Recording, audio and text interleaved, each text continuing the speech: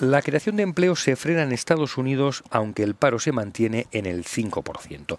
En abril solo se registraron 160.000 puestos de trabajo más en el país respecto a la media de 200.000 de los últimos meses. A su vez, se han revisado a la baja las cifras de febrero y marzo para dejarlas en 233.000 y 208.000.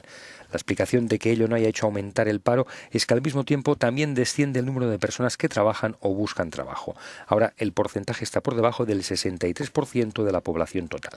La destrucción de empleo se concentra en el sector petrolífero, pero también en la producción de bienes, así como en los servicios por primera vez en un año. Los analistas consideran que la incertidumbre sobre la campaña presidencial estadounidense empieza a afectar a una economía que ya únicamente creció cinco décimas en el primer trimestre. Por ello, la Reserva Federal tiene argumentos para volver a retrasar una nueva subida de los tipos en su próxima reunión de junio. Solo cuenta a favor con el hecho de que se incremente el salario medio por hora a 25,53 dólares.